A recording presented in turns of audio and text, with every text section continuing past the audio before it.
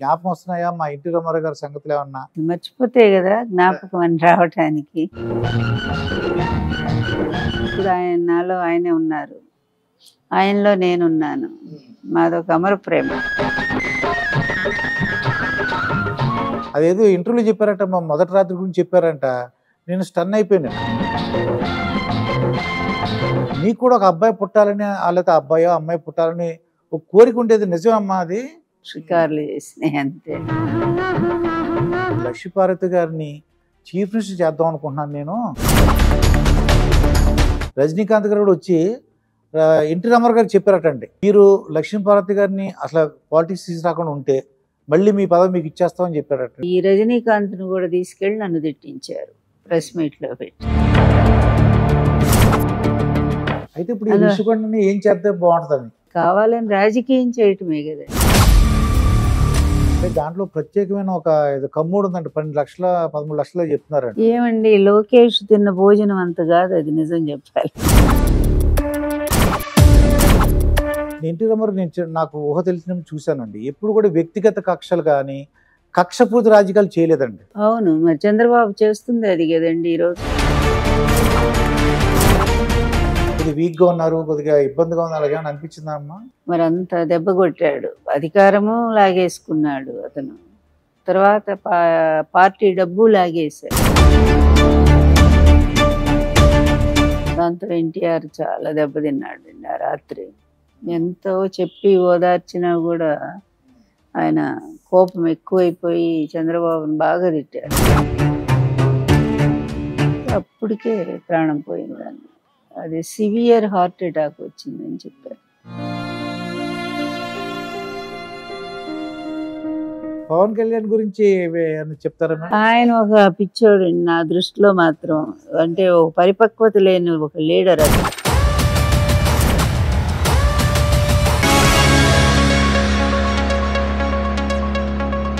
మాస్టర్తో మాట మంతి కార్యక్రమానికి స్వాగతం. నేను మీ మాస్టర్ దుర్గా ప్రసాద్ స్వర్గీయ నందమూరి తారక రామారావు గారి సత్యమణి తెలుగు అకాడమీ మాజీ చైర్మన్ లక్ష్మీపార్వతి గారు ఈరోజు మనతో పాటు ఉన్నారు. మా నమస్కారం. నమస్తే అండి. నా చిన్నప్పుడు మాది ఏలూరు నేటివ్ ప్లేస్ అనమాట అరుగుల మీద కూర్చొని పెద్దవాళ్ళు మాట్లాడుకున్నారు. ఎన్టీఓడి బొమ్మ వచ్చిందిరా ఎన్టీఓడి బొమ్మ వచ్చిందిరా అని. అప్పుడు తిక్క శంకరి ఒకటి బాగా చూసామండి అదేంటి? తర్వాత కదలడు వదలడు.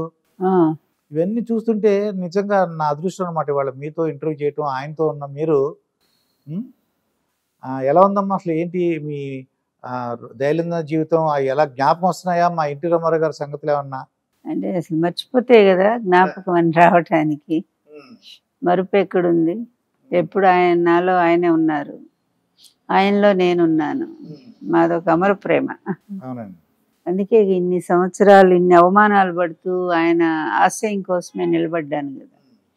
ఆయనకి జరిగినటువంటి వెన్నుపోటుని ఈ ప్రపంచానికి చెప్పాలనే కదా తపన పడ్డాను. ఎన్ని రకాల హింసలు పెట్టారు అన్నిటిని భరించి ఓపికగా నిలబడ్డాను. ఇప్పటికి చాలా ఎనభై శాతం మంది జనాలు అర్థం చేసుకున్నారు. ఎందుకంటే ఆ వయసులో తోడు ఉండాలని ఎవరైనా కోరుకుంటారండి. ఇప్పుడు తెలుస్తుంది ప్రజలకి ఇప్పుడైతే ఆ వయసులో తోడు ఉండాలంటే ఎంతమంది పిల్లలు ఉన్నా సరే తోడు ఉండాలని కోరుకుంటారండి. ఇప్పుడు ఏబిఎన్ కూడా చేసుకోబోతున్నాడుగా రాధాకృష్ణ. రాధాకృష్ణ గారు. అది నిజమేనండి. అది ఎవరో డాక్టర్ అంటున్నారు. అదైతే బాగానే వచ్చింది న్యూస్. అంటే ఏమి తోడండి. నిజంగా ఏదో తప్పే ఉందండి. చే- ఇప్పుడు భార్య చనిపోయింది ఆయనకి ఉమ్, అందువల్ల ఇప్పుడు తోడు కావాల్సి వచ్చింది చేసుకున్నారు. కాకపోతే వీళ్ళు ఇతరులను అనకుండా ఉంటే చాలు. అవునండి. ఇతరులను విమర్శిస్తారు. మనం ఏదైనా చేయొచ్చు అనుకుంటే లోకం మిమ్మల్ని చూస్తుంది కదా. ఇంకా ఎన్టీ రామారావు గారి గురించి వాళ్ళు ఆయన భోజనం అంటే అంటే చాలా మంది రకరకాలు చెప్తాడు తెల్లవారుజాము మూడు గంటలు లేస్తారని. అలాంటి ఏంటమ్మా నిజంగా ఎన్ని గంటలు లేస్తారమ్మా? నిజమే మూడు గంటలకి లేస్తారు ఆయన. నేను కూడా మా వివాహం అయినాక నన్ను కూడా లేపేవారు. లేపేవారు. మూడు గంటలకు లేచి ఒక నాలుగు నాలుగున్నర అంటే ట్రెడ్మిల్ అన్నీ చేయించేదాన్ని అప్పుడు ఆయన ఆరోగ్యం బాగాలేదు కదా పెరాలసిస్ స్ట్రోక్ వచ్చింది కదా. ట్రెడ్మిల్ చేయించేదాన్ని ఇంతలో మసాజర్ వచ్చేవాడు. ఆ మసాజరు మసాజ్ చేసే తర్వాత నేను స్నానానికి నీళ్ళు అయి పెట్టి కిందకి వెళ్ళి ఆయనకు వంట చేసేదాన్ని. ఇంకా ఐదున్నర కల్లా క్రిందకు వచ్చేసేవారు. ఆ, ఐదున్నరకు పూజ ముగించుకొని వెంటనే బ్రేక్ఫాస్ట్. తెల్లవారేసరికి అన్నీ అయిపోవాలి. పూజ ముగించడం అంటే ఇప్పుడు ఆయన మా కృష్ణుడు మా రాముడు మా దేవుడు ఆయనే. ఆయన ఏ దేవుడిని పూజించేవారమ్మా? ఆయనకి వెంకటేశ్వర స్వామి ఇష్టం అండి వెంకటేశ్వర స్వామి. ఇప్పుడు ఇదేమో కో- తెర వెళ్ళిపోయిన తెర మీద దేవుడు. తెరవేల్పు. ఆయనేమో ఆయన విశ్వానికి దేవుడు కదా వెంకటేశ్వర స్వామి. అందువల్ల ఆయనకి వెంకటేశ్వర స్వామి అంటే చాలా ఇష్టం అండి ఇక నాకు శివుడు ఇష్టం బాగా. అందుకని ఇద్దరిని పెట్టి అలాగే సాయిబాబా అన్నా కూడా నాకు బాగా ఇష్టం. షిరిడి సాయిబాబా. ఆయన విగ్రహం కూడా షిరిడి వాళ్ళు ఇచ్చారు మాకు. అవి పెట్టి రోజు నేను పూజ చేసేదాన్ని. ఆయన క్రిందకు వచ్చేసరికి అది అయిన తర్వాత ఆయన టిఫిన్ చేసేవారు ఆఫీస్ కూర్చునేవారు. గెస్ట్లు కలుస్తారు. అవునండి. ఎంతసేపు పూజ చేసేవారు అంటారు? అంటే అంతకుముందు నాకు తెలియదు నేను వచ్చిన తర్వాత నేనే చేశాను. ఆయన హారతి తీసుకునేవారు వచ్చి లాస్ట్లో. ఈ పెళ్ళైన తర్వాత మీరు పూజ చేసేవారు? నేనే చేశాను. మరి మిమ్మల్ని ఇప్పుడు ఆయన మూడు గంటలకు అలవాటమ్మా. కానీ మిమ్మల్ని లేపితే మరి మీరేం అనుకునేవారు కదా? ఎందుకంటే ఈ రోజుల్లో నువ్వు లేస్తే లే నేను తర్వాత లేస్తానని చెప్తారు ఇప్పుడు ఐదు వాళ్ళు అయితే. ఇప్పుడు నేను మీరే అన్నారుగా సాక్షాత్తు దేవుణ్ణి పెళ్ళి చేసుకున్నాను. ఇలాంటి చిన్న చిన్న అడ్జస్ట్ కాలేమా? ఏముంది ఆయన ఆయన లేచినప్పుడు నేను లేకపోతే బాగుండదు కదా. ఎందుకంటే ఆయనతో గడిపే ప్రతి క్షణం విలువైందని అనుకున్నాను ప్రతి క్షణం కూడా అది మర్చిపోలేనటువంటిది. మూడు కాదు అసలు రాత్రంతా నిద్ర లేకుండా కూర్చోమన్నా కూర్చుంటాను ఉమ్, ఆయన్ని చూస్తూ. ఆయన ఆరోగ్యం బాగాలేనప్పుడు నాకు రాత్రులు నిద్ర కూడా ఉండేది కాదు కదా. ఆయనకి గంట గంటకి టాబ్లెట్స్ ఇవ్వాల్సిన అవసరం ఉండేది. మరి అట్లా ఎంతో సర్వీస్ చేయాల్సి వచ్చింది. ఇప్పుడు తెల్లవారుజామున మూడు గంటలు అంటే ఎన్ని గంటలు పడుకునేవారండి సాయంకాలం? ఏడింటికి పడుకునేవారు. నేను రాకముందు. నేను వచ్చాక తొమ్మిది తొమ్మిదిన్నర అయ్యేది. అయినా మళ్ళీ మూడింటికి లేవాల్సింది. లేవాల్సింది. మళ్ళీ భోజనం అయినా మధ్యాహ్నం పడుకునేవారు కాసేపు ఒక గంట. ఒక గంట సేపు మధ్యాహ్నం పడుకునేవారు. అంటే మధ్యాహ్నం పడుకున్నా మళ్ళీ ఈవినింగ్ నిద్ర మామూలుగా వచ్చేసేది. అయ్యో అసలు నిద్ర. ఆయన మాట్లాడుతూ కూడా నిద్రపోగలరు. చిన్న టైం దొరికితే చాలా. ఆ చిన్న టైంలో కూడా నిద్రపోగలరు ఆయన. పిలిస్తే పలుకుతుంది నిద్ర ఆయనకి. చాలా మంది ఈ రోజు రాత్రులు ఏంటంటే రాత్రులు నిద్ర పట్టట్లేదండి.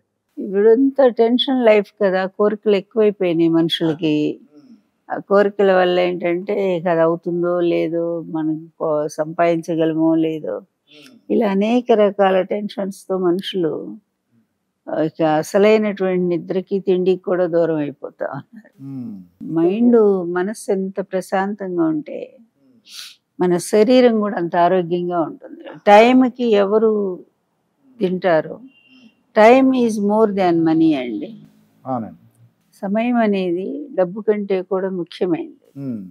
అట్లాంటి సమయాన్ని ఎంతో వృధా చేస్తూ ఉన్నారు ఇప్పుడు వాళ్ళు. అవునండి. అందులో మనకి నేచర్ ప్రకృతి ఏదైతే ఇచ్చిందో అలవాట్లు భిన్నంగా మనం నడుచుకుంటున్నాం ఈరోజు. ఇప్పుడు రా సాయంత్రం ఆరు ఏడింటికల్లా భోజనం చేయాలి అంత పెద్దల అవునండి. ఎర్లీగా ఏడున్నర లేదు ఎనిమిదింటికల్లా పడుకొని ఉదయం ఐదు ఆరింటికో లేవటం. ఇది కరెక్ట్ టైం నిద్ర. కానీ ఇప్పుడు వాళ్ళకి కుదరట్లేదు. వాళ్ళు రావటమే ఇళ్ళకి పదింటికి పదకొండింటికి వస్తారు. పడుకునేసరికి పన్నెండో ఒంటి గంట.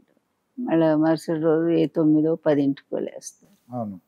సూర్యాస్తమయాన్ని చూడరు సూర్యోదయాన్ని చూడరు అన్నట్టు. అందువల్ల ఏంటంటే mind is its own place. It's make hell or heaven. Heaven or hell మన మనస్సు ఏ విధంగా ఆలోచిస్తుందో అదే విధంగా మనకు జరుగుతూ ఉంటాయి. మీరు చెప్పినట్టు కొద్ది కోరికలు పెరిగిపోయినాయి. జనరేషన్ వాళ్ళకి కోరికలు ఇదివరకు మనకి కోరికలు వేరుగా ఉండేవి కోరికలు పెరిగిపోయినాయండి. మెనీ డిజైర్స్ ఇప్పుడు ఎన్టీ రామారావు గారు ఈవినింగ్ తొందరగా పడుకున్నాను తెల్లవారుజాము మూడు గంటలు లేసేవారు పూజ అయ్యేది. బ్రేక్ఫాస్ట్ అంటే ఏమన్నా నాకు అది కావాలి ఇది కావాలి అడిగేవారండి అన్న బ్రేక్ఫాస్ట్? లేదు ఆయన కంపల్సరీగా వారంలో ఐదు రోజులు తెల్లవారుజామున నాటుకోడి తింటారు. నాటుకోడి. నాటుకోడి ముందు రోజు సాయంత్రం అరకోడి అందులో అంటే హాఫ్ కేజీ. చిన్నది. చిన్నది. అది తెప్పించి ఫ్రిడ్జ్లో పెట్టి ఉంచేవాళ్ళు పొద్దున్నే కూర చేసి ఒక రోటీయో పూరియో లేకపోతే గారెో ఏదో ఒకటి వేసి ఇస్తే దాంట్లో తినేసేవాళ్ళు. ఐదు రోజులు.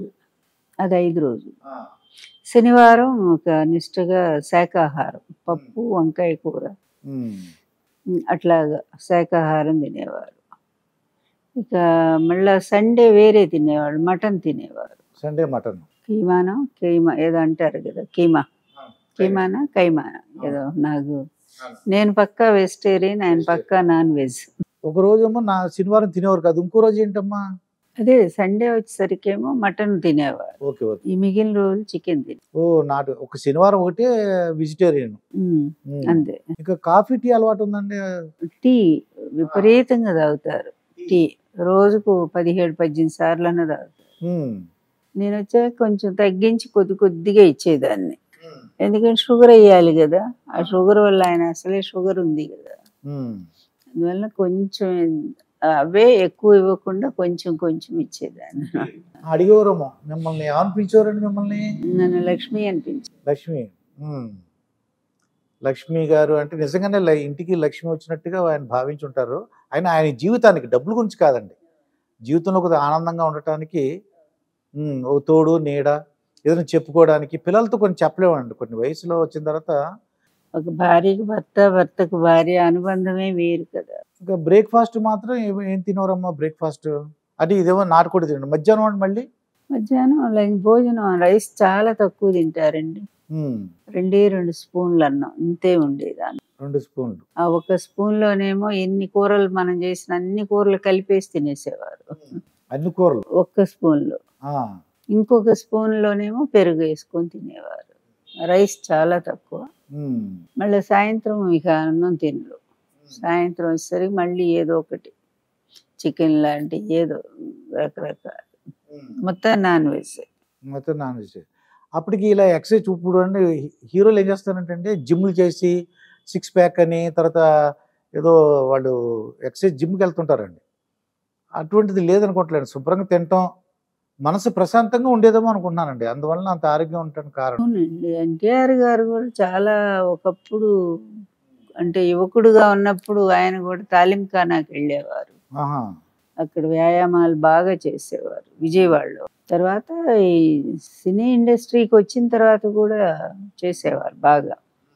ఆయన మంచి ఎక్సర్సైజ్ బాడీ అండి ఇది. తర్వాత ఇక నేను వచ్చిన తర్వాత ఇది రోజు నడవటం టెర్రస్ మీద. తర్వాత ఈ ట్రెడ్మిల్ చేసి. ట్రెడ్మిల్ చేసేవారు. తర్వాత మసాజ్ చేసి. అలాగే ఆయనకి మసాజర్ కూడా అంటే మసాజ్ మ్యాట్ అంటాం. అది కూడా ఉంది. ఈవినింగ్ టైంలో దాని మీద పడుకునేవారు. ఉమ్. అదే బాగా శరీరాన్ని కుదిపేస్తూ ఉంటుంది. బ్లడ్ సర్క్యులేషన్ కోసం. బ్లడ్ సర్క్యులేషన్ అది.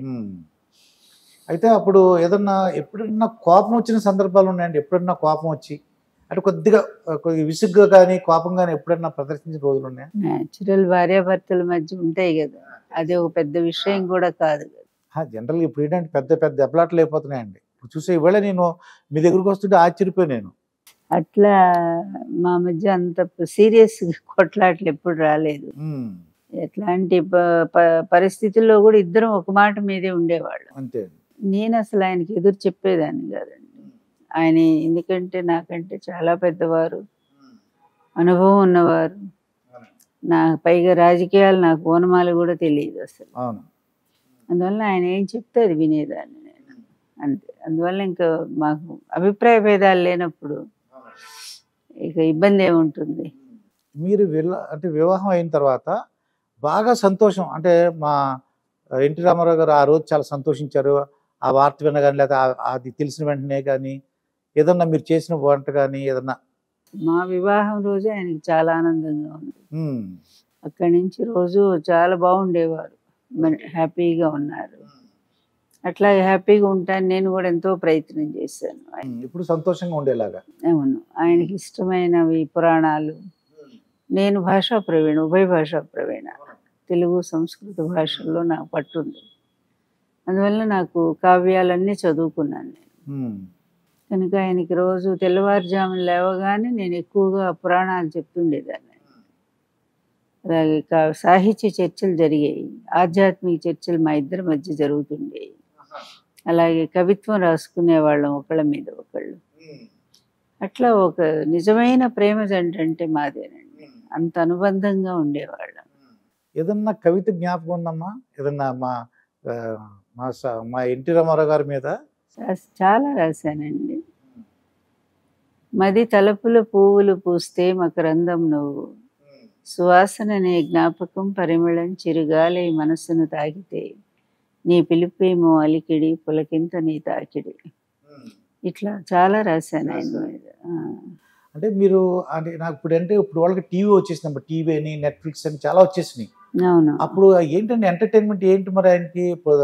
City cable. అప్పుడే కొత్తగా రామకృష్ణ గారు సిటీ కేబుల్ లాంచింగ్ పిలిచారు. ఉమ్, ఇద్దరం వెళ్ళాము. అది లాంచ్ అయిన తర్వాత ఆయన చాలా పెద్ద టీవీ మా ఇంట్లో బిగించారు తీసుకొచ్చి శాటిలైట్ అంతా. ఓకే. అది చూస్తూ ఉండేవాళ్ళం సాయంత్రం. కానీ తక్కువ చూసేవారు ఆయనకి ఇంట్రెస్ట్ ఉండేది కాదండి. టీవీ చూడటం అసలు. ఉమ్, ఎక్కువగా పగలంతా ఈ వీళ్ళ విజిటర్స్ వస్తూ ఉంటారు కదా దాంతోనే సరిపోయేది. నాతో కబుర్లు అంటే ఇష్టం ఆయనకి. ఎన్ని గంటలు మాట్లాడుకున్నా ఆయనకి తనివి తీరేది కాదు ప్రతి ఐదు నిమిషాలకి లక్ష్మీ లక్ష్మి అని పిలుస్తూనే ఉండేవారు. మరి ఎన్టీ రామారావు గారు మీ మీద రాసిన కవిత జ్ఞాపకం ఉందండి అన్న? అది అంటే ఉందో బుక్లో ఉందండి అది. గండి పడిన గుండె లోతులో నిండి నింగి కెగసిన ప్రభంజనం అంటూ. ఆయన ఒంటరి జీవితాన్ని అందులో చెప్తూ అందులో తోడుగా నేను వచ్చానని చెప్పి రాశారు. ఆ ఆనందంగా రాసుంటారండి. ఎందుకంటే ఆయనే సినిమా డైరెక్టరు ఆయనే స్క్రీన్ ప్లే. ఆయన మంచి ఆర్టిస్ట్ కూడా అండి. పెయింట్ బాగా చేస్తారు. చాలా గొప్పగా. ఆయన రాత కూడా ముత్యాల కోవే అంత బాగుంటుంది ఎన్టీఆర్ గారి దస్తూరి. ఎన్టీ రామారావు గారు అంటే ఎక్కువగా ఆరోగ్యం ఏంటంటే ఓన్లీ బీపీ షుగర్ అని అంటారు అప్పటికి ఏమన్నా ఆ, ఈ ముప్పై ఐదేళ్ళ నుంచి సినిమా ఇండస్ట్రీలో ఉన్నప్పుడే అంటే ఆయన ముప్పై ఐదేళ్ళ వయసులోనే స్టార్ట్ అయిపోయింది టూ ఇయర్లీ అన్నమాట. ఎర్లీగా స్టార్ట్ అయిపోయింది. అందువల్ల కూడా అప్పుడప్పుడు షుగర్ హై పెరుగుతూ ఉండేది. కంట్రోల్ లేదు. ఆమె చనిపోయాక అస్సలు కంట్రోల్ లేదు. అందుకోసమే ఆయన ఒకటి రెండు సార్లు ప్రాణాపాయ స్థితి వచ్చింది ఆయన అలాగే ఒకసారి హార్ట్ అటాక్ వచ్చింది. Mild heart attack. తర్వాత పెరాలసిస్ స్ట్రోక్ వచ్చింది. రెండు ఇది బైపాస్ సర్జరీ జరిగింది అమెరికాలో. ఇవన్నీ నేను రాకముందు జరిగినాయి. నేను ఇది కూడా ఇది మన పెరాలసిస్ స్ట్రోక్ కూడా నేను రాకముందే వచ్చింది. అప్పుడు నన్ను ఉద్యోగం రిజైన్ చేసి రమ్మన్నారు. ఓకే నేను నర్సరావుపేట డిగ్రీ కాలేజ్ లెక్చర్ అండి. సరే నన్ను వచ్చేసేయమన్నారు. అది గవర్నమెంటే ప్రైవేటే మేడం అది? Private college. Private college.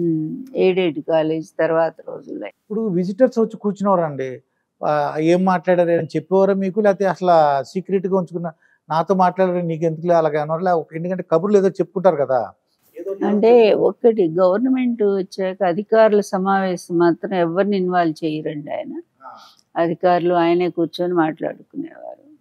ఇక మామూలు పార్టీ పర్సన్స్ ఆత్మీయులు అనుకున్న వాళ్ళు బాగా అభిమానులు అనుకున్న వాళ్ళు వచ్చినప్పుడు నన్ను కూడా కూర్చోబెట్టేవారు. కూర్చోబెట్టి అందరం ఊరికే పిచ్చాపాటి మాట్లాడు. ఆ టైంలో ఆయన అంటే ఎప్పుడన్నా ఇది అంటే మీరు ఆఫీస్ ఉందనుకో ఇలాగా నేను వాళ్ళతో మాట్లాడాను చాలా బాగున్నాయి విశేషాలు లేకపోతే ఇలా చేద్దాం అనుకుంటున్నా ప్లాన్ ఇలా ఉందని ఆయన మీతో డిస్కస్ చేసేవారండి అన్న కొన్ని అవసరం అనుకుంటే చెప్పేవారు పార్టీ పరమైనటువంటివి. ఇలా చేద్దాం అనుకుంటున్నాను లక్ష్మి అని అంటే మీ ఇష్టం అనేదాన్ని నేను. పూర్తిగా ఆయన నాకు ఎందుకంటే అంత లోతు ఏమి తెలియదు అప్పుడు మీకు వనమాలు కూడా రావని అస్సలు. తెలియదు నాకు పార్టీలో కూడా ఎవరు పరిచయం లేదండి. అయితే ఒక సలహా మాత్రం నేను చెప్పాను. ప్రాంతీయ సదస్సులు పెట్టండి. జనంలో పోతే జన అభిప్రాయం ఏంటో కూడా అర్థమవుతుంది. ఎలక్షన్స్ దగ్గరకు వచ్చినాయి కనుక అని అది అని చెప్తే అది పాటించాను ప్రాంతీయ సదస్సులు. సూపర్ సక్సెస్ అయినాయి అవన్నీ లక్షలాది జనం వచ్చారు. అప్పుడు మిమ్మల్ని కూడా మాట్లాడమని అన్నారండి అప్పుడు? నన్ను కూడా తీసుకెళ్ళి మాట్లాడించారు వేదిక మీద. అంటే ముందు ఏం మాట్లాడే రాసుకున్నారు అంటారు? లేకపోతే అప్పటికప్పుడు అసలు మా నాకు అలవాటే లేదు. నా నాకు వేదిక మీద వెళ్ళే వరకు కూడా అసలు ఏం మాట్లాడాలో కూడా తెలిసేది కాదు. అక్కడికి వెళ్ళాక ఏది వస్తే అది మాట్లాడేసేది. అసలు మీ మిమ్మల్ని కూడా చాలా బాగా రిసీవ్ చేసుకున్నారండి చాలా మంది లక్ష్మీపార్వతి గారు అంటే తెలియని వాళ్ళు అంటే ఎవరు లేరు. అవునండి. ప్రజలు బాగా ఆదరించారు. అందుకే కదా మాకు అన్ని సీట్లు ఇచ్చి గెలిపించారు. రెండు వందల యాభై ఎనిమిది సీట్లు గెలిచాం. మిత్రపక్షాలతో. ఇప్పుడు ఒక ఇంటర్వ్యూలో మిమ్మల్ని పెళ్ళైన మొదటి రాత్రిను అడిగారటండి. మా వాళ్ళు స్టాఫ్ వస్తుంటే చెప్పారన్నమాట. అమ్మో మొత్తం మొదటి రాత్రి గురించి చెప్పారంటే ఆన అంటే టెన్షన్ ఫీల్ అయ్యారా? లేకపోతే ఆనందపడ్డారా? ఎందుకంటే పెళ్ళి అయిన రోజున తిరుపతిలో అయినట్టుందండి పెళ్ళి? అవును తిరుపతిలో అనౌన్స్మెంట్ అనౌన్స్మెంట్ చేశారు.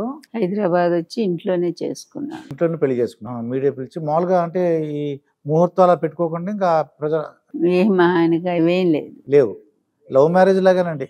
అంతే. అదేదో ఇంటర్వ్యూలో చెప్పారట మా మొదటి రాత్రి గురించి చెప్పారంట. నేను స్టన్ అయిపోయాను అంటే కొద్దిగా టెన్షన్ ఉంటుంది. ఎందుకంటే అంత మహానుభావుడు నన్ను పెళ్ళి చేసుకోవడానికి ఉంటుంది టెన్షన్లో. మేడం గారు అని చెప్పాను నేను. నేను అట్లా ఎప్పుడు చెప్పలేదు. వాళ్ళు అట్రాక్షన్ కోసం క్యాప్షన్ పెట్టారు అట్లా అది. మొదటి రాత్రి అలా అని. ఇప్పుడు మొన్న మా బావగారు ఒక ఆయన చనిపోయారమ్మా. మేము అసలు ఎక్స్పెక్ట్ చేయలేదు. మామూలుగా ఇది చూడగానే వీక్ అయిపోయారు అలా పడిపోయారు అంతే అండి. అయ్యో. అలాగా ఆయన పేరు సోమయ్య గారు అన్నమాట మా అక్కయ్య గారి హస్బెండ్. అలాగా మేము అసలు చక్కగా కూర్చుని మాట్లాడుకునే వాళ్ళు అన్ని శుభ్రంగా ఉండేది. సడన్గా ఆయన చనిపోయారు అన్నమాట అయ్యో. మీకు ముందు రోజు ఆయన మన ఎన్టీ రామారావు గారి గురించి ఆయన అంటే కొద్దిగా వీక్గా ఉన్నారు కొద్దిగా ఇబ్బందిగా ఉంది అలాగే అనిపించిందా అమ్మా? అదే ఆ రోజు బ్యాంకులో డబ్బు ఉంది కదా ఈయన సింహగర్జన సదస్సు చేయాలని నెహ్రూని పిలిపించారు. విజయవాడలో సభ ఏర్పాట్ల కోసం. సరే దానికి ఇంత ఖర్చు అవుతుందని లెక్కలేస్తే ఓ ముప్పై లక్షల దాకా అయ్యేటుందన్నారు. ఉమ్. బ్యాంకులో ఈయన పేరుతో డబ్బు ఉంది కదా పార్టీ పేరుతో ఆ డబ్బు తీసుకురమ్మని చెక్ ఇచ్చి పంపించారు. ముందు రోజు జరిగింది ఇది పదిహేడో తారీఖు జనవరి పదిహేడు.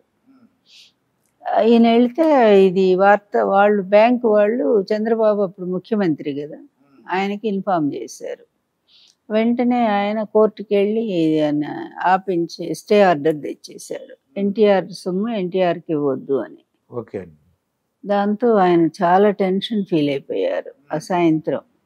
డబ్బు లేకపోతే మా కార్యక్రమాలు ఎలా నడుస్తాయి పార్టీ ఎట్లా ముందుకు పోతుంది మీటింగ్లు ఎలా పెట్టుకోవాలి అని ఇంత చాలా టెన్షన్ పడిపోయారనమాట అది ఆ టెన్షనే తెల్లవారేసరికి ఆయన హార్ట్ అటాక్ వచ్చేసింది. అంటే సుమారుగా ఎంత ఉందమ్మా డబ్బులు దాంట్లో? ఒక రెండు కోట్లలో ఉంటారంట. అంత కూడా లేదనుకుంటా అండి. డెబ్బై ఎనభై లక్షలు ఉండి. డెబ్బై ఎనభై లక్షలు ఉంది. దాంట్లో ముప్పై లక్షలు ఖర్చు పార్టీ గురించి. ఆ రోజుల్లో డబ్బు అంటే చాలా పెద్దది కదా అండి అసలు. నిజంగా అమ్మా నేను అన్నాను కదా కానీ ఆయన ప్రజల మనిషి అమ్మా. ఎంత అంటే రెండు రూపాయలు బియ్యం పెట్టారు కదా ఎంతో గొప్పగా చెప్పుకున్నాం అవును. ఆ పేదలకి ఆ కేజీ బియ్యం తెచ్చుకుని వండుకుని ఏదో పచ్చడో మజ్జిగ వేసుకుని తినేసేవారు జనాలు. అసలు బియ్యం లేని కుటుంబాలే చాలా ఉన్నాయండి ఆంధ్రప్రదేశ్ రెండు రాష్ట్రాల్లో. అయితే డెబ్బై ఎనభై లక్షలు అంటే ఇప్పుడు డెబ్బై కోట్లతోనో ఎనభై కోట్లతోనో అసలు ఆ రోజుల్లో డబ్బు విలువ చాలా ఉండేది కదా. ఈ. రోజులు ఎవరు లెక్క పెట్టట్లేదు. మరి అంత దెబ్బ కొట్టాడు. అధికారము లాగేసుకున్నాడు అతను. తర్వాత పార్టీ డబ్బు లాగేశాడు. దాంతో ఎన్టీఆర్ చాలా దెబ్బతిన్నాడండి ఆ రాత్రి. ఎంతో చెప్పి ఓదార్చినా కూడా ఆయన కోపం ఎక్కువైపోయి చంద్రబాబుని బాగా తిట్టారు ఇక ఆవేశం తట్టు అసలే ఆయనకి ఇది కదా పెరాలసిస్ స్ట్రోక్. పెరాలసిస్ స్ట్రోక్ ఏంటంటే బ్రెయిన్లో క్లాట్ అయింది ఆయనకి. అది. ఆ బ్రెయిన్లో క్లాట్ అయినందువల్ల పెరాలసిస్ స్ట్రోక్ వస్తుంది. రక్త ప్రసరణ సరిగా లేక. డాక్టర్లు చెప్పారు ఆయన ఎక్కువ ప్రెషర్ ఇవ్వద్దు ఆయన ప్రశాంతంగా ఉంచండి అని కుటుంబ సభ్యులందరికీ చెప్పారు. ఆయన తెలిసి కూడా ఆయన మీద చాలా ప్రెషర్ చేశారు. దాంతో తట్టుకోలేక గుండె ఫెయిల్ అయిపోయింది. అంటే మీరు రాత్రి మామూలుగా పడుకున్నారు అంతే? అంతే. మామూలుగానే అక్కడ అన్నయ్య ఆ రోజు వస్తారు మోహన్ రెడ్డి అన్నయ్య. పార్టీ ఆయనే మినిస్టర్గా చేశారు. ఆయన ఒక్కడనే ఎన్టీఆర్ గారు బాగా ఇష్టపడతారు.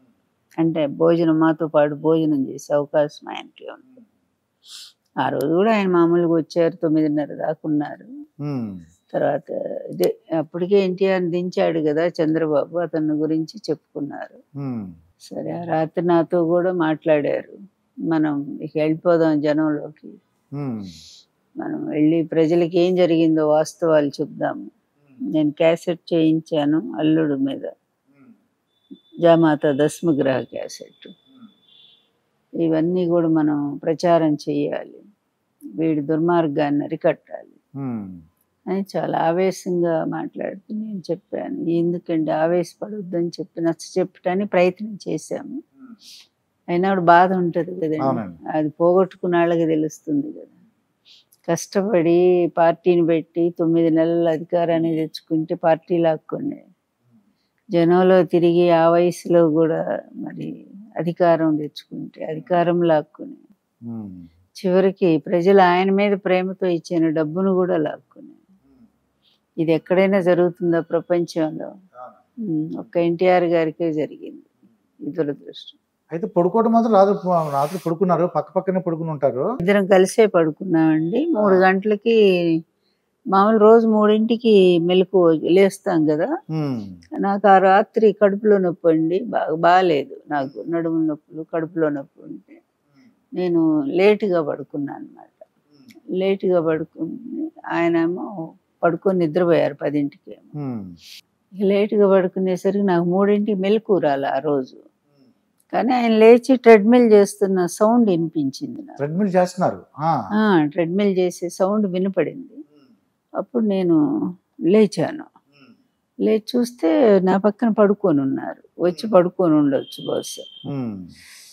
ఇంకా లేచి సరే నేను బాత్రూమ్కి వెళ్ళేసరికి ఆయనకి గురక వస్తుంది పెద్ద గురక.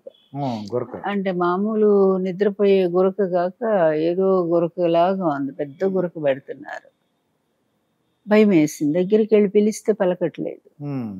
ఇంకప్పుడు వెంటనే డాక్టర్స్కి ఫోన్ చేయించాను. క్రిందంతా సెక్యూరిటీ ఉంటారు కదా మా ఆఫీస్లో. పిఏలు ఉంటారు సెక్యూరిటీ ఉంటారు. మా ఫ్యామిలీ డాక్టర్ వాళ్ళు సోమరాజు గారు సోమరాజు గారు. ఫోన్ చేయిస్తే వాళ్ళు వెంటనే పది నిమిషాల్లో వచ్చేసారు. అంబులెన్స్ కూడా తీసుకుని. వస్తే అప్పటికే ప్రాణం పోయిందన్న అది సివియర్ హార్ట్ అటాక్ వచ్చిందని చెప్పారు. అంటే చూడండి ఎంత మహానుభావుడు. నేను అన్నాను కానీ చనిపోవడం. కొంతమంది చూడండి బెడ్లో ఉండిపోయి తీసుకుని తీసుకుని చనిపోతుంటారు ఏం లేదు అసలు. పోరాడుతూనే చనిపోయారు అది మీరు థ్రెడ్మిల్ కూడా చేస్తుంటారు వచ్చి కొద్దిగా నొప్పి వచ్చి వచ్చి పడుకుండిపోయి ఉంటారమ్మా. పోరాడుతూ చనిపోయారు. మహాయోధుడు అంటే ఆయనే నిజంగా. దేవుడు కొంచెం ఆయుష్ ఉంటే ఆయన సక్సెస్ అయ్యేవారు. ఈ దుర్మార్గులకు బుద్ధి చెప్పి ఉండేవారు కదా అని బాధపడుతూ ఉంటాను అంటే కొంతమంది పుకారు ఏంటంటే అమ్మా మీరు మీకు తెలిసిందో లేదో విషయం ఎన్టీ రామారావు గారు కొంతమంది దగ్గర పిలిచి నేను లక్ష్మీపార్వతి గారిని చీఫ్ మినిస్టర్ చేద్దాం అనుకుంటున్నాను నేను అని చెప్పినట్టు పుకారండి. అది నిజమా కాదో నాకు తెలియదు అబద్ధం లేండి అది. అన్నీ. కూడా అబద్ధం. ఎప్పుడు ఆయన నోటి వెంట రాలేదు నా నోటి వెంట రాలేదు పదవి అనేది. ఎప్పుడు రాలేదండి నాకు ఎప్పుడు ఇంట్రెస్ట్ కూడా లేదు రాజకీయాల మీద. నేను ఎన్నో సార్లు ఖండించాను కూడా. ఎన్నో సార్లు ఖండించాను అలా చేయాలనుకుంటే నేను ముందు మంత్రి పదవి తీసుకొని ఉండొచ్చు. లేదంటే ఒక ఎమ్మెల్యే కంటెస్ట్ చేసి ఉండొచ్చు. అవును. ఆ ఇంట్రెస్ట్ లేదు ఎందుకు వద్దని చెప్పాను నేను అట్లా ఆయనకి అదేమి లేదండి. ఇప్పుడు ఒక దుర్మార్గం చేయటానికి వంద కారణాలు సృష్టించుకుంటారు కదా. ఆ మహానుభావుని కూల్చాలంటే ఆయన భార్యని బూచిగా చూపించాలి. ఎన్నో అబద్ధాలు వాళ్ళు నా చుట్టూ అల్లారు. అందులో ఇది ఒకటి ఒక ధర్మపీఠం అని ఒక దానికి ప్రోగ్రామ్కి వెళ్ళారండి. మా మేము టీవీలో చూసాం. అందరూ అది జనవరి అనుకుంటుంది ఇప్పుడు ముందు రికార్డ్ చేసి ఉంటారండి అది. ముందు రికార్డ్ చేసి ఉంటారు. అది వస్తే అందరూ ఆశ్చర్యచకితులు అంటారు కదండి. మన సతీష్ ఇప్పుడు ఉన్నాడుగా సతీష్ బాబు. అవును. Journalist diary. Journalist Satish Babu. అతను ఫోర్స్ చేశాడు వచ్చి. ఎలా ఎలా ఒప్పుకున్నా ఎలా ఒప్పించాడని. అదే నా అసలు వెళ్ళరా వెళ్ళంటే వెళ్ళన్నారు ఈయన. చాలా మందికి వేశారు. నేను రాను అన్నారు. కానీ ఆయన భలే రిక్వెస్ట్ చేశాడు సతీష్ బాబు.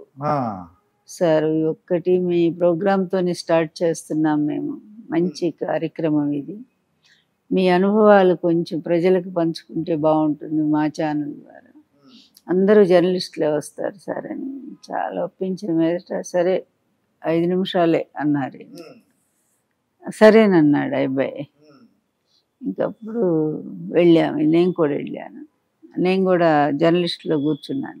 ఓకే అండి. కింద జర్నలిస్టులు మీరు కూడా కూర్చున్నారు. కూర్చొని నేను కూడా ప్రశ్న వేశాను.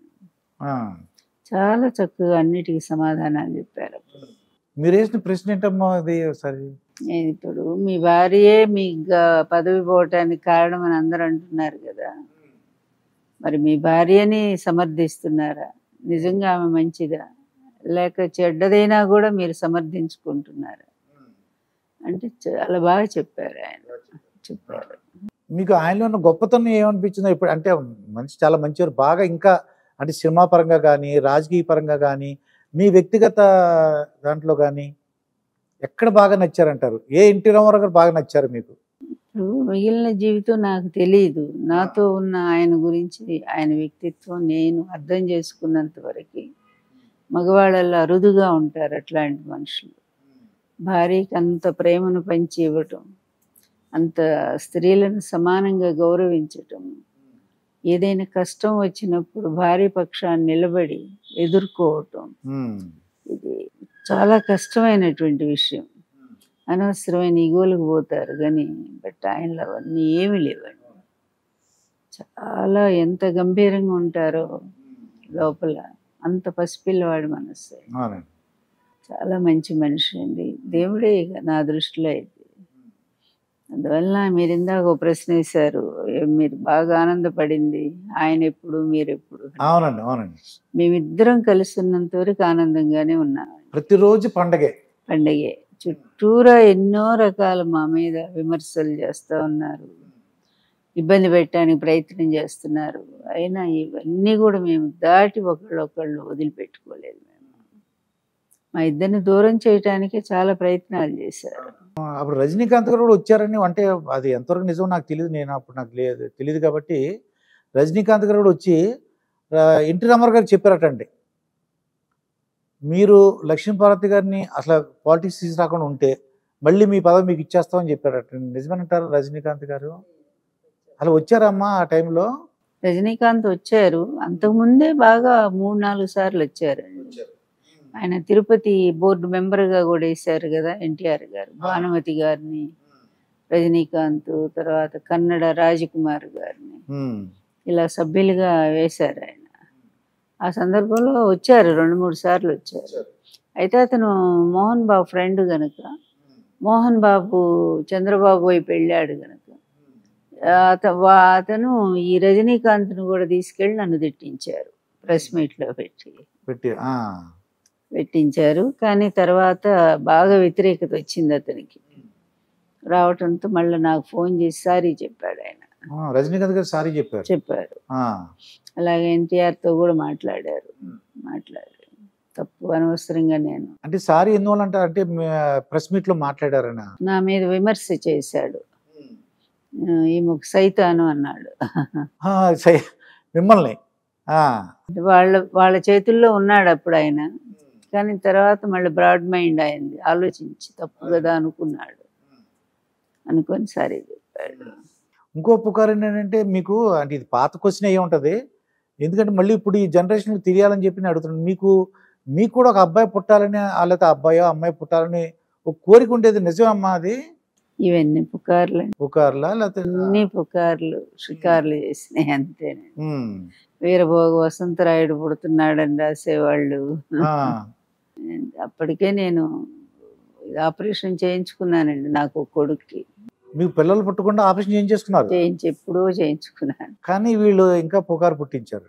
ఇన్నో ఇప్పుడు చెట్టు ఎదిగే కొద్ది రాళ్ళ దెబ్బలు ఎక్కువ తగులుతాయని ఒక స్థాయి ఎదిగే కొద్దీ మాకు కూడా చుట్టూరు ఇలాంటి విమర్శలు మాటలు రావటం సహజమైనది వాటన్నిటిని తట్టుకొని నిలబడటం అనేది గొప్పతనం అండి. అది మేము చేసాం ఇప్పుడు ఎన్టీ రామారావు గారు ముఖ్యమంత్రి ఉండగా ఇప్పుడున్న అంటే దేశంలో చూస్తున్న కానీ ముఖ్యమంత్రులు ఎన్ని ఆరోపణలు అమ్మ కేజ్రీవాల్ మీద వచ్చినాయి ఆరోపణలు. ఇలాంటి ముఖ్యమంత్రులు అందరి మీద కూడా ఆరోపణలు వస్తున్నాయి. అసలు ఆయన ఒక్క రూపాయి కూడా తీసుకున్నట్టు నాకు జ్ఞాపకం లేదంటే రూపాయి కూడా తీసుకున్నట్టు లేదు. లేదా అకౌంట్ ఫర్ పర్పస్ ఏదో ఎంతో కొంత రాయాలనుకుంటున్నారు. రూపాయి అంత తీసుకున్నట్టున్నారు. వేల కోట్లు సంపాదించుకుంటున్నారమ్మ ముఖ్యమంత్రులు. వేల కోట్లు అనమాట చంద్రబాబుని చూడండి లక్షల కోట్లకి వెళ్ళిపోయాడు. ఎన్టీఆర్ గారిది ఒక సిద్ధాంతం ఆశయం అండి. ఆయన ప్రజల కోసమే వచ్చారు. ఆయన పూర్తిగా కూడా ప్రజలకు సేవ చేయనీయకుండా మధ్యలో దింపేశారు వాళ్ళు. అందుకే ఆ బాధతో ప్రజలకి తనను దూరం చేశారనే బాధతో ఆయన చనిపోయారండి ఇప్పుడు ఎన్టీ రామారావు గారికి మీకు వివాహం ఏందో ఫారిన్ కంట్రీస్ వెళ్ళారని అన్న విదేశాలు? వెళ్ళామండి. నైంటీ ఫైవ్లో తెలుగు సభలకి ఆహ్వానించారు. లండన్లోనండి. లండన్ అమెరికా వాళ్ళు కూడా తానా వాళ్ళు వచ్చి పిలిచారు. పిలిస్తే అంత టైం అమెరికా పోయి రావటం చాలా టైం పడుతుందిలే. అమెరికా వద్దులే అని లండన్ వరకే వెళ్ళాం అన్నమాట. లండన్ వరకు వెళ్ళారు. బాగా జరిగినాయి అక్కడ. ప్రపంచ తెలుగు సభలు బాగా జరిపాయి. ఎందుకంటే మీరు కూడా తెలుగు సాహిత్య పరులు కాబట్టి ఏదో చెప్పుంటారు అక్కడ. న్యాచురల్ మాట్లాడి. జనరల్గా అమ్మ మన ఏంటంటే ఏదో చెప్పులు కొనుక్కోవాలని బట్టలు కొనుక్కోవాలని అలా కోరికలు ఉంటాయి. ఎన్టీ రామారావు గారు ఏం కోరికలు ఉంటాయమ్మా మీ పెళ్ళి అయిన తర్వాత? కోరికలు అంటే ఏదో కొనుక్కోవాలను అది కొనుక్కోవాలను ఇది కొనుక్కోవాలను లేదా బట్టల మీద మోజు కానీ అలాగే ఉండేదండి అన్న? నగల మీద కానీ కోరికలు ఎవరికి నాకంటారు? మీకును మా ఎన్టీ రామారావు గారికి. మేమిద్దరం సన్యాసులు నిజం చెప్పాలంటే. అంటే నేను చాలా చిన్నదాన్ని ఆయన వయసులో సగం వయసు నాది. అయినా నాకున్న కష్టాల వల్ల నేను చాలా మెచ్యూరిగా ఉండేదాన్ని అండి. మెచ్యూరిటీ ఉండేది. పైగా మొదటి నుంచి కమ్యూనిస్ట్ ఫ్యామిలీలో పుట్టాను నేను. అందువల్ల ఈ ఈ వేషాలు వేషజాలు ఇష్టం ఉండేది కాదు. చాలా సింపుల్గా ఉండేదాన్ని. ఎప్పుడు నోరు తెరిచి ఆయన నేనేం అడగలేదండి. ఎప్పుడు అడగలేదండి. అలాగే ఆయన కూడా చాలా సింపుల్ మనిషి అండి. ఏమి ఎక్కువ ఏమి ఉండవు ఆయనకు కూడా. మేమిద్దరం ఒకళ్ళకొకళ్ళు ఉండాలనుకున్నాం ఒకళ్ళకొకళ్ళు పెళ్ళి చేసుకోవాలనుకున్నాము మా మేమిద్దరం కలిసి ఉండటమే మాకు పెద్ద వరంగా భావించాం. అంటే కొద్దిగా చెప్పులు కొనుక్కుందామని లేదా బట్టలు కొనుక్కుందామని లేదా మీరు బట్టలు కొనుక్కుందాం పద నేను కూడా వస్తాను? ఇంటికే తెప్పించేవారు. ఇంటికి తెప్పించా ఆ చీరలు అన్ని ఆయనే తెప్పించేవారు. తనే సెలెక్ట్ చేసేవారు. ఓకే. సెలెక్ట్ చేసి అక్కడ పెట్టాక నాకు చూపెట్టేవారు. దీంట్లో ఏం కావాలి? అట్లేం అడగరు. ఆయన నా రంగుకి ఏం సరిపడితే ఆయనకి తెలుసు. ఆర్టిస్ట్ కదా. కదా. అందువల్ల ఆయనే సెలెక్ట్ చేసి చీరలు అక్కడ పెట్టి తర్వాత నా చేతికి ఇచ్చేవారు. బ్లౌజ్ చేయించి కట్టుకునేవారు. అట్లా నగలు కూడా అంతే. ఆయనే చేయించి ఇచ్చారు నాకు. అందువల్ల నేను ఎప్పుడు ఏం అడగలేదండి. నోరు తెరిచి ఇది కావాలి అని అడగల. కొండంత దేవుడు భర్త అయినా ఇంకేం కోరికలు ఉంటాయి. అవునండి. ఆ దేవుడే మీ దగ్గర ఉంటే ఇంకా కోరికలు ఏముంటాయి అసలు? ఏముంటాయి? మరి ఆ ఎన్టీ రామారావు గారి కోరికలు అంటే ఏదన్నా కొనుక్కోవాలని ఇప్పుడు నేను అది కొనుక్కోవాలనుకుంటున్నాను లేకపోతే ఇదని? అవన్నీ ఇంటికి మామూలు. ఇప్పుడు అవన్నీ చిన్న చిన్న వాళ్ళకి సంబంధించినది అంత స్థాయి మనిషి కంటే వాళ్ళు పర్మనెంట్ ఉంటారు కదా. అవునండి. ప్రతి ఆరు నెలలకు ఒకసారి మంచి చెప్పులు చేసుకొని తెనాల నుంచి అనుకుంటారు. తీసుకొచ్చేవారు. ఓకే అండి. అట్లాగే బట్టల షాప్ వాళ్ళు బట్టలు తెచ్చి చూపించేవారు. ఆయనకి నచ్చిన క్లాత్ తీసుకొని టైలర్స్కి ఇస్తే పిఏలు ఉన్నారు కదా. స్టాఫ్తో ఎలా ఉండేవారమ్మా? అంటే అధికారం ఉన్నప్పుడు మీ పెళ్ళైన తర్వాత చూసుంటారు కదా. అధికారులతో కానీ స్టాఫ్తో కానీ మాట్లాడే విధానం అంటే కోపగించుకోవటం వాళ్ళతో. కోపం వచ్చినా కూడా చిన్న కోపం అండి. అంటే ఉత్తమ శిక్షణ కోపం అని వచ్చిన మరుక్షణమే పోయేది ఆ కోపం. అందు చెప్పాను పసిపిల్లవాడి మనస్తత్వం. అట్లా మళ్ళీ వాళ్ళని ఎంతో ప్రేమగా చూసేవారు.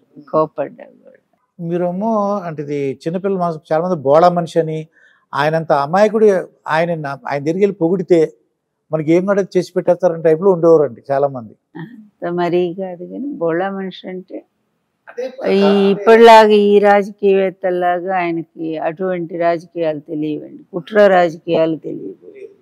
మంచి మనస్సు. స్ట్రైట్గా ఆలోచిస్తారు. అదేవిధంగా మంచి అనుకుంటే తప్పకుండా చేస్తారు వెనక్కి పోరు. అవతల మంచిది కాదు అనుకుంటే దేవుడు చెప్పినా వినరు. అందువల్ల డెసిషన్ తీసుకోవటంలో ఎన్టీఆర్ గారు ఎవరి మీద డిపెండ్ అవ్వరు. తనకు తనే ఆలోచిస్తారు. అది కరెక్ట్ అనుకుంటే చేస్తారు. పెళ్ళైన తర్వాత ఏదన్నా అంటే అధికారులు ఉంటారు కదండి. అధికారులు చెప్పిన విషయాలన్నీ ఫాలో అయిపోయారు అంటారా లేకపోతే కొద్దిగా ఆలోచిస్తాము తర్వాత చూద్దాం ఎందుకంటే కొంతమంది ఐఏఎస్ ఆఫీసుని నేను ఇంటర్వ్యూ చేశాను. వాళ్ళు కొంతమంది ఏంటంటే ఐఏఎస్ ఆఫీసులు ఏం చెప్తే చేసేవారట. కొంతమంది ఏమో డిస్కస్ చేసేవారట. అదైతే నిజంగా నేను అడ్మినిస్ట్రేషన్లో ఎప్పుడు కలగ చేసుకోలేదండి. అందువల్ల నాకు అనుభవం లేదు. అయితే జయప్రకాష్ నారాయణ గారి ఇంటర్వ్యూలు చూస్తే తెలుస్తుంది. నేను జయప్రకాష్ నారాయణ ఇంటర్వ్యూ చేశానండి. ఎందుకంటే ఆయన పర్సనల్ సెక్రటరీ కనుక ఆయనకే అన్నీ తెలుసు. ఆయన ద్వారానే. జయప్రకాష్ నారాయణ అడిగా. అడిగితే ఆయన చెప్పారు మాట డబ్బులు ఒక రూపాయి గవర్నమెంట్ ఆఫీస్ అంతా దుమ్ము దుమ్ముగా ఉందండి మొత్తం ఈ ఫ్లోరింగ్ అంతా మార్చేద్దాం అన్నారట. అలా వద్దు రిపేర్ చేయించానట రిపేర్ చేసినా మళ్ళీ దుమ్ము వస్తుందంట అంటే సరే ఎంత అవుద్దు అని అడిగారటండి. రెండు వేలు మూడు వేలు అంటే అయితే చేయించు అన్నారటండి. అటువంటి మూడు వందలకి రెండు వేలు మూడు వేలు కూడా ఆయన డబ్బు అందులో ప్రజల సొమ్ముని ప్రజలకే ఇవ్వాలి అనే తప్పన ఉన్న మనిషి అండి ఆయన. అందువల్ల ఎప్పుడు ప్రజల సొమ్ము ఒక్క రూపాయి మాత్రమే తీసుకొని పనిచేశారు ఆయన ప్రజల కోసం. రాజకీయవేత్తలు అంత నిఖార్స్ అయిన వ్యక్తిని మనం అరుదుగా చూస్తాం ఇంకెక్కడ చూడలేమండి. ప్రపంచంలో అండి ఇంకా రా పాత తరంలో ఎవరు లేరు రాబో తరం కూడా ఎవరు అలా ఉండరు అవునండి. అవును. మీరు ఈ జయప్రకాష్ నారాయణ విషయం మాట్లాడుతుంటే ప్రజల సొమ్ము రూపాయి కూడా ఖర్చు పెట్టినాను రిషికొండ అక్కడ తయారైపోయిందమ్మా. దాన్ని ఏం చేస్తే బాగుంటుందని ఓ ఆలోచించుకున్నారు. ఏం లేదండి అది బ్రహ్మాండమైన టూరిజం ప్లేస్. ఒకటి ఆంధ్రప్రదేశ్కి సరైన రాజధాని లేదు. గత పాలకులు లేకపోతే ఇప్పుడు పాలకులు కూడా కబుర్లు చెప్పారు తప్ప సరిగ్గా ఒక్క రాజధాని నిర్మించలేదు. కానీ జగన్ గారు వచ్చిన తర్వాత ఒక ప్లాన్ చేసుకున్నారు. మూడు ప్రాంతాలు అభివృద్ధి చెందాలి అంటే మూడు ప్రాంతాలు మూడు రాజధానులు ఉంటే బాగానే ఉంటుందని. అది ఒక్క మన రాష్ట్రం కోసమని కాదు. ఇలాంటి సిస్టమ్ గుజరాత్కి ఉంది వేరే రాష్ట్రాలకు కూడా ఉందండి అట్లాంటివి. అమెరికాకు ఉన్నాయి కదండి రెండు రాష్ట్ర రెండు రాజధానులు ఉన్నాయి కదా. అయితే ఇప్పుడు. రిషికొండని ఏం చేస్తే బాగుంటుందని? ఋషికొండ విషయం అది కావాలని రాజకీయం చేయటమే కదండి. ఇప్పుడు మీకు ఎవరైనా ఇండస్ట్రియలిస్టులు వీళ్ళంతా వస్తారు కదండి ఎక్కడ బస్ చేస్తారు? నీకు మంచి హోటల్ ఎక్కడ ఉందండి అందువల్ల వాళ్ళ అది గవర్నమెంట్ గెస్ట్ హౌస్ కనుక గవర్నమెంట్ గెస్ట్ హౌస్. చక్కగా వాళ్ళు అక్కడ అందులో జగన్ గారి ఉద్దేశం వేరు కదా. వైజాగ్ని పాలనా రాజధాని చేద్దాం అనుకున్నారు. అప్పుడు ఎంతమంది వచ్చారండి అక్కడ సదస్సు పెడితే? ఈ బిజినెస్ సదస్సు పెట్టారు కదా. ఎంతమంది వచ్చారు? మీకు అంబానీ లాంటి వాళ్ళంతా వచ్చారు కదా. అయితే దీన్ని అంటే రిషికొండని మనం దేశంలో ప్రధానమైనటువంటి బిజినెస్ పర్సన్స్ మొత్తం వచ్చారు. అలాంటి వాళ్ళు వచ్చినప్పుడు నివాసం ఎక్కడ ఉంటూ బాగుంటుంది. అందువట్ల ఆలోచించి ఆయన ఒక ఋషి కొండ మీద చుట్టూ సముద్రం ఉంది. మంచి గెస్ట్ హౌస్లు కట్టారండి. ఎందుకు అసెంబ్లీలో వాళ్ళే పొగిడారు కదా మొన్న. బయటకు వచ్చేమో విమర్శిస్తారు. అసెంబ్లీలోనే నిజం మాట్లాడతారు. అది. అంటే దాంట్లో ప్రత్యేకమైన ఒక కమ్మూడు ఉందండి పన్నెండు లక్షల పదమూడు లక్షలు చెప్తున్నారండి. ఏమండి లోకేష్ తిన్న భోజనం అంత కాదు అది నిజం చెప్పాలంటే లోకేష్ తిన్న భోజనం డెబ్బై ఎనభై లక్షలు అయింది అప్పుడు. మరి ఒక మినిస్టర్ అంత భోజనం చేశాడంటే ఇది ఇది గవర్నమెంట్ అండి. ఇది జగన్ సొంతం కాదు కదా. ఆయన సొంత ఇంట్లో కట్టుకోలేదు కదండి. ఎవరు ప్రభుత్వం వచ్చినా సరే అందరూ వాడుకునేదే కదా అది. ప్రభుత్వ ఆస్తి అది. అంటే ఆ కమ్మూడు ప్రత్యేకత అంటే మీరు విన్నారో లేదో? ఏమో తెలియదు ఏంటంటే ఏం లేదు అక్కడ కూర్చుంటే అంటే ఇంకా అదే క్లీన్ చేసేస్తుంది అదే ఫ్లష్ అవుట్ చేస్తుంది అదే క్లాత్ ఏవో చెప్తున్నారు. ఏం చెత్త ఏం పనికి నన్ను అడిగితే ఇలాంటివన్నీ వేస్ట్ అండి మాట్లాడటం కూడా. అసహ్యంగా కూడా ఉండదు కదా ఉంటుంది కదా. ప్రపంచంలో పూజ ఏం చేయాలనుకున్నావు? ప్రజలకి ఎలక్షన్స్ ముందు ఏ హామీలు ఇచ్చావు? అవి నెరవేర్చు. కదా? సిక్స్ ఫార్ములా ఏదో సూపర్ సిక్స్లు సూపర్ సెవెన్లు ఇన్ని ఇచ్చారు కదా. అవి నెరవేర్చకుండా జగన్ అట్లా చేశాడు కమౌట్ ఇలాగా ఎంత దరిద్రంగా ఉన్నాయండి కామెంట్స్ అసలు కూడా ఆలోచించి అసహ్యంగా అనిపిస్తుంది. మీరు తెలుగు అకాడమీ చైర్మన్గా ఏమేమి విజయాలు సాధించారు మేడం? మీ ఆధ్వర్యంలో ఎన్ని సంవత్సరాలు ఉన్నారు? నాయుడు గారు తెలుగు అకాడమీని పూర్తిగా భూస్థాపితం చేశారండి. ఇక్కడున్న తెలుగు అకాడమీని తీసుకురాలేదు. దాన్ని వదిలేశాడు ఆయన. కానీ జగన్ గారు వచ్చాక తెలుగు అకాడమీని తెచ్చి నన్ను చైర్పర్సన్గా చేశారండి. చేశాక అప్పటికి ఏముంది? ఇది అక్కడ కుర్చీ కూడా లేదు. దానికి బిల్డింగ్ లేదు. ఏమీ లేవు. కదా. అట్లాంటిది ఆ సంస్థను అక్కడ రిజిస్టర్ చేయించడమే కాకుండా కోర్టుకి వెళ్ళి ఈ తెలంగాణ గవర్నమెంట్ మీద తెలుగు అకాడమీ ఫండ్స్ అన్నీ తెచ్చానండి. తెచ్చి బ్రహ్మాండంగా ఒక బిల్డింగ్ అద్దెకి తీసుకున్నాం. బిల్డింగ్ అది తీసుకున్నారు. చాలా బాగా రన్ చేశాము. తీసుకొచ్చారు. ఫండ్స్ తెచ్చాము. అలాగే కొన్ని కోట్ల పుస్తకాలు ప్రింట్ చేశామండి నా హయాంలో. ఇప్పుడు మళ్ళీ దాని మొహం చూడటం లేదు ఈ గవర్నమెంట్. అక్కడ యూనివర్సిటీ ఒకటి మెడికల్ యూనివర్సిటీ ఉంది మేడం. అది ఎన్టీఆర్ యూనివర్సిటీ అని ఉండేది. దాన్ని అది కొద్దిగా బాధపడ్డారు. ఎన్టీఆర్ అభిమానులుగా చాలా మంది బాధపడింది ఏంటంటే ఆ ఎన్టీఆర్ యూనివర్సిటీని వైఎస్ఆర్ యూనివర్సిటీగా మార్చేశారండి. అది జగన్మోహన్ రెడ్డి కాకుండా చంద్రబాబు మళ్ళీ వచ్చి ఉంటే ఆయనే మార్చి ఉండేవాడు అది ఆ సంభాషణ మీరు వినే ఉంటారు. రాధాకృష్ణను చంద్రబాబు ఇద్దరు మాట్లాడుకుంది బయటకు వచ్చింది అది. ఓకే అండి. వాడి పేరు తీసేయాలి అని చెప్పి వాడు వీడు మాట. కానీ జగన్ గారి ఉద్దేశం ఒకటండి పదిహేడు మెడికల్ కాలేజీలు జగన్ తీసుకొచ్చాడు. పదిహేడు మెడికల్ కాలేజీ వాళ్ళ నాన్న డాక్టరు రాజశేఖర రెడ్డి గారు. అలాగే వాళ్ళు సొంత హాస్పిటల్ ఒకటి పేద పేదవాళ్ళ కోసం నిర్వహిస్తూ ఉన్నారు కడపలో. ఎప్పటి నుంచో ఇప్పుడు కాదు రాజకీయాల్లో రాకముందు నుంచి. ఇలా వైద్యంతోనే వాళ్ళు వాళ్ళ కుటుంబం ఉంది దాని వెంటే. అందువల్ల ఈ పదిహేడు మెడికల్ కాలేజీలు అతని హయాంలో వచ్చినప్పుడు అతని తండ్రి పేరు పెట్టుకోవాలనుకోవడం తప్ప అండి. వీళ్ళంతా కూడా మార్చరా? చెప్తా వినండి. ఒక్కటే ఆయన అన్నారు. ఒక యూనివర్సిటీ పేరు తీసేయటం కంటే ఒక జిల్లాకు ఆయన పేరు పెట్టాను అది గొప్ప కాదా అని అన్నారు. ఉమ్. కదా? దీనికి బాధపడ్డ వాళ్ళు దానికి సంతోషించాలిగా? ఏమండి? ఒక జిల్లా మొత్తంలో యూనివర్సిటీ ఎంత అండి ఒక చిన్నదే కదా? కానీ మొత్తము జిల్లాకే ఎన్టీఆర్ పేరు పెట్టారు కదా. మరి అల్లుడు పెట్టాడా ఎప్పుడైనా? అందువల్ల ఈ చిన్న చిన్న విమర్శలకి ఏమండి ప్రతి హయాంలో కూడా పేర్లు కాంగ్రెస్ వస్తే కాంగ్రెస్ పేర్లు పెట్టుకునేవాళ్ళు కదా. అలా రాజీవ్ గాంధీ వైఎస్ రాజశేఖర రెడ్డి టైంలో రాజీవ్ గాంధీ విమానాశ్రయం పెట్టారు. అంతకుముందు చంద్రబాబు టైంలో ఎన్టీఆర్ విమానాశ్రయం ఇలా పేర్లు మారుస్తే దానికి ఒక పెద్ద ఇష్యూ చేయాల్సిన అవసరం అంటే ఏం లేదండి ఆల్రెడీ పేరు ఉంది కదా మళ్ళీ తీయటం ఎందుకు? పేరు ఉన్నాయేనండి మార్చేది ఆల్రెడీ పేరు ఉన్నాయే మారుస్తారు. ఇప్పుడు మోడీ మార్చట్లేదా చాలా చోట్ల. అంటే మీరు వద్దని అన్న ఒక మాట అనాల్సింది మేడం మీరు. ఏది? ఈ యూనివర్సిటీకి ఎన్టీఆర్ యూనివర్సిటీ అలా ఉంచేయండి వద్దు బాబు. నన్ను ఒకటే అడిగారు. జిల్లా పేరు పెట్టమంటారా అని అడిగారు. పెట్టండి అదే శాశ్వతంగా ఉంటుంది. ఈ టైంలో ఇదిగో మా ఒపీనియన్ ఇది. యూనివర్సిటీకి మేము ఇట్లా నాన్నగారి పేరు పెట్టుకోవాలనుకుంటున్నాం. ఎందుకంటే మెడికల్ అంతా మా సంబంధించింది కదా. అంటే పెట్టుకోండి అన్నాం. మనకి ఎందుకంటే గవర్నమెంట్ని మనం వాళ్ళు చేశారు ఆ పనులు. అన్ని చేసి వాళ్ళు అన్ని కాలేజీలు తెచ్చి వైద్య విద్యను అంత డెవలప్ చేశారు కనుక ఇంత పెద్ద జిల్లాకు ఆయన పేరు పెట్టినప్పుడు ఆనందించాలి కానీ చిన్నదాన్ని మారుస్తున్నారని మనం ఎలా విమర్శిస్తాం ఎన్టీ రామారావు నేను నాకు ఊహ తెలిసినప్పుడు చూశానండి. ఎప్పుడు కూడా వ్యక్తిగత కక్షలు కానీ కక్షపూరిత రాజకీయాలు చేయలేదండి. అవును మరి చంద్రబాబు చేస్తుంది అది కదండి ఈరోజు. మొత్తం వెయ్యకాప వాళ్ళందరిని తరిమి తరిమి కొడతా సోషల్ మీడియా వలనండి వాళ్ళే కాదు అసలు వైకాపా కార్యకర్తలు ఇళ్ళకెళ్ళి తగలబెడుతున్నారు. ఎంతమంది హత్య చేయ- చేయబడ్డారు. ఎన్ని ఆత్మహత్యలు చేసుకునేటి చేస్తున్నారు. వెంటబడి వెంటబడి కొడుతున్నారు. ఇదే అండి పరిపాలన అసలు. అంటే వాళ్ళు ఇప్పుడు ఫర్ ఎగ్జాంపుల్ రోజా మేడం ఉన్నారు అనుకోమ్మా ఎలా పడితే అలా మాట్లాడేసేవారని అనేవారు అనమాట ఏమండి వాళ్ళు ఎలా మాట్లాడారండి? ఒక్కసారి వాళ్ళు ఐటీడీపీ చూడండి. మాలాంటి వాళ్ళందరూ ఎంత అసహ్యంగా ఉంటాయో వాళ్ళ దగ్గర బొమ్మలు. అసలు ఆ భాష మీకు చెప్పడానికి కూడా వీల్లేని భాష మమ్మల్ని తిట్టేది వాళ్ళు. వాళ్ళు చేసిన ఏమో బయటికి చెప్పకుండా రోజా తిట్టింది వీళ్ళు తిట్టారు. శ్యామల అని అది ఏదే మరి ఎట్లా ఉంటదంటే ఇక దొంగే దొంగ నరిచినట్టుగా ఉంటుంది. కానీ తప్పు ఎవరు చేసినా తప్పే మేడం.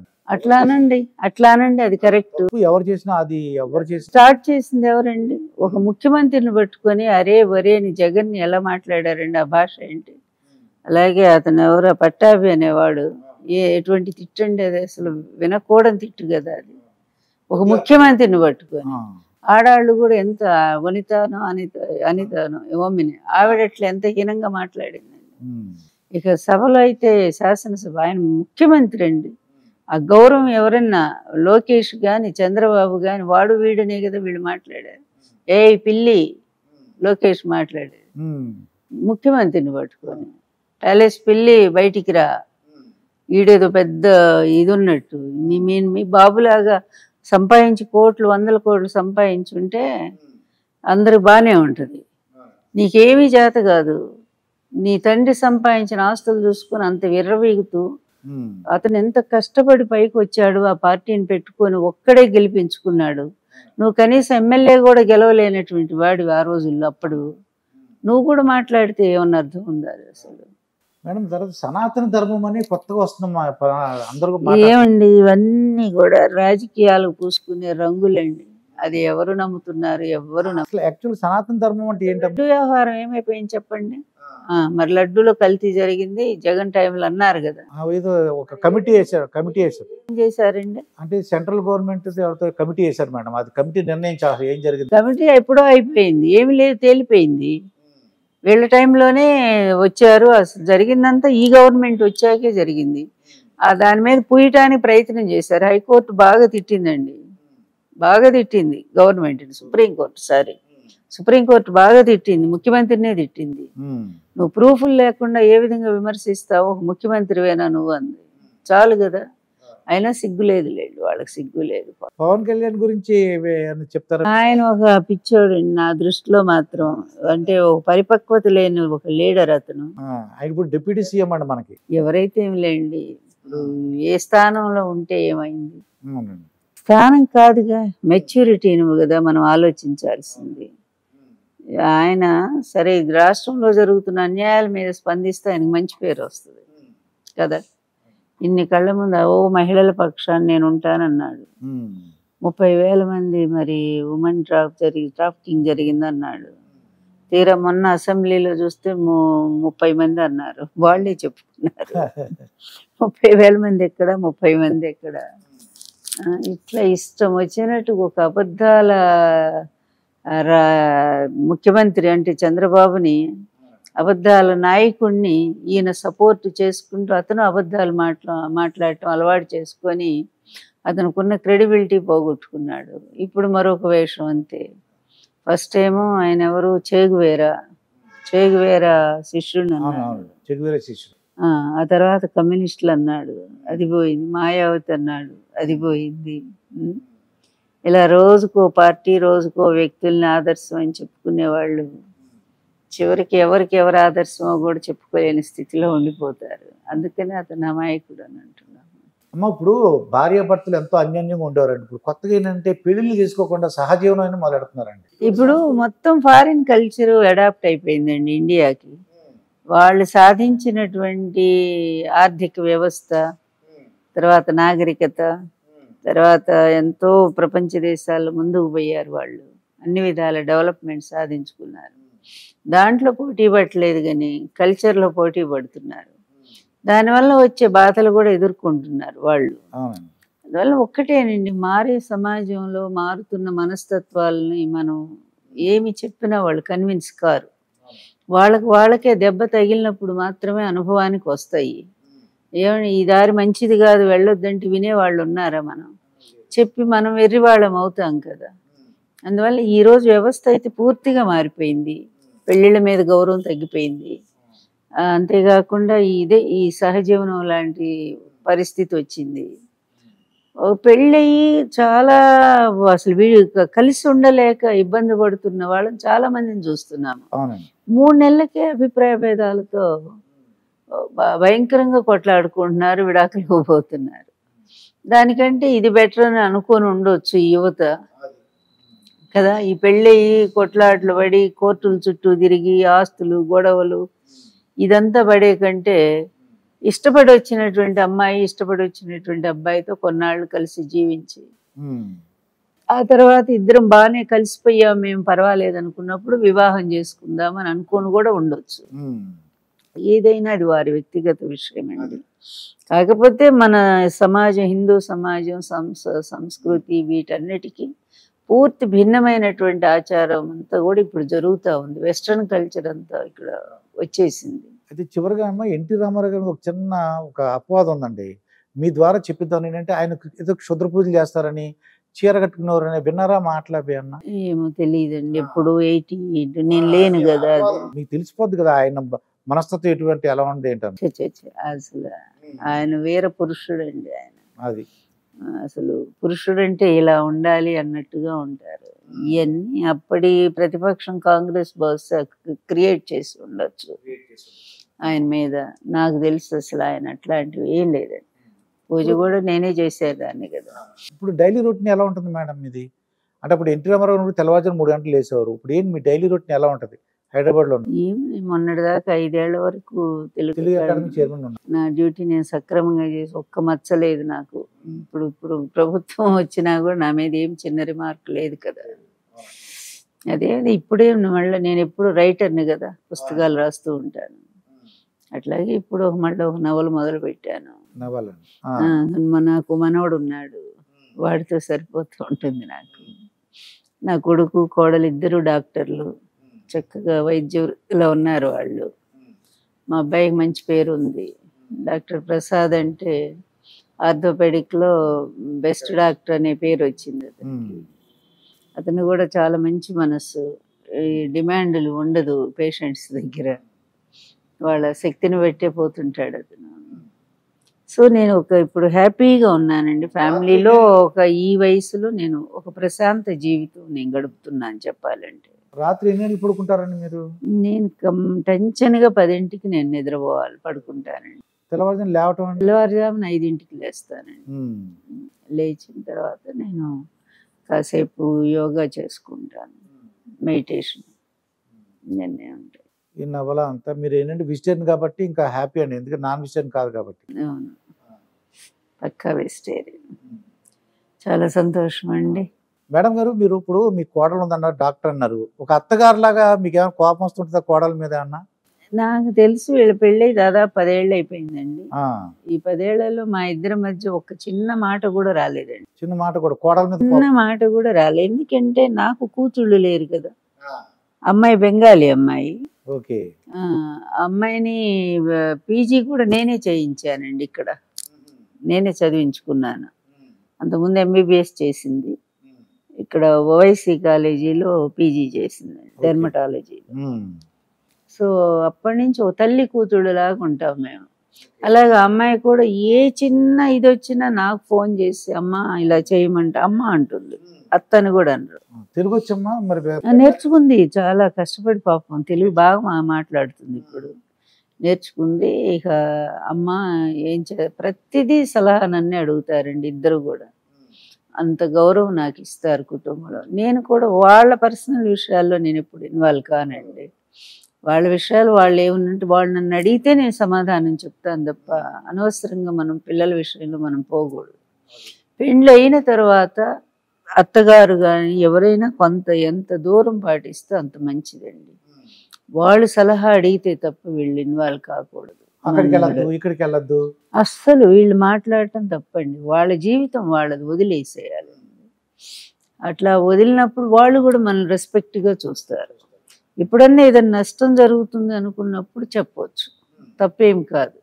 చూడండి ఇది ఆలోచించండి దీనివల్ల మీరు ఇబ్బంది పడతారు అని చెప్పి అట్లా ఓ పెద్దరికంతో సమాధానం చెప్పొచ్చు. అంతే తప్ప too much involvement is not good for ever చాలా మంచి సలహా ఇచ్చారు. కోడళ్ళు అంటే అత్తలందరూ ఇది పాటించాలండి. ఇప్పుడు వయసు ఎంతమ్మా మీది సిక్స్టీ ఫైవ్ అండి. Sixty five. అంటే యాభై తొమ్మిదిలో పుట్టుంటారు. యాభై తొమ్మిది. ఎంత ఎందుకంటే గూగుల్లో ఒక రకంగా ఉంటది. రకరకాలుగా ఉన్నాయి. డిసెంబర్ అమ్మా అది? నాదండి సెప్టెంబర్. సెప్టెంబర్ డేట్ అమ్మా? సెప్టెంబర్ ఫోర్టీన్త్ అండి. September fourteen. సెప్టెంబర్ లెవెన్త్ మా మ్యారేజ్ డేట్ అండి. సెప్టెంబర్ ఫోర్టీన్త్ నా పుట్టిన ఇదండి దుర్గా ప్రసాద్ గారు. ఇదండి లక్ష్మీపార్వతి మేడం గారితో జరిగిన ఇంటర్వ్యూ. మరొక ఇంటర్వ్యూతో మీ ముందుంటాను. మీ మాస్టర్ దుర్గా ప్రసాద్ నమస్కారం అమ్మా. నమస్తే.